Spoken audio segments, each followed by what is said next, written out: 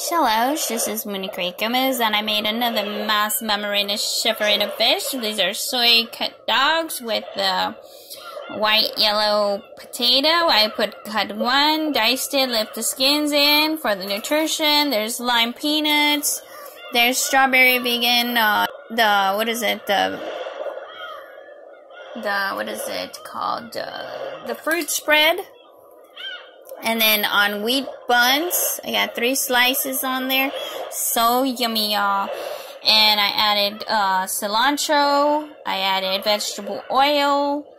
I added uh, one can of, uh, what is it, tomato sauce. I added nutritional yeast flakes.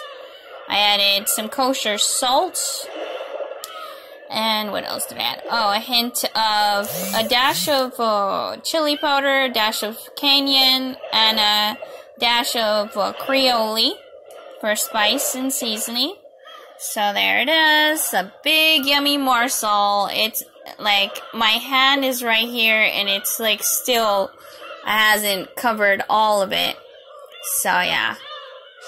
I got some water there, but yeah. Wow, look at this, y'all. So yummy. I'm telling the more screen. Open wide. Um, um, um. And these lime peanuts I got at the stripe store. You can buy them there or at a convenient gas store. I bought them there and I just added them to my spaghetti dish. Spaghetti, so yeah. I added some uh, sprinkles of the cheese alternative. It's called Nutritional Yeast Flakes. You can buy a pound on Amazon. Um, and my mom brought me these soy dogs, but I paid her for it. I bought the potatoes, the soy dogs from my mom, and um, everything else I bought. So, yeah. So yummy. I'm about to eat a very yummy morsel. Let you stare at it and drool for a bit. Vroom, vroom, vroom. Smells so good from overshare. My saliva is like that too.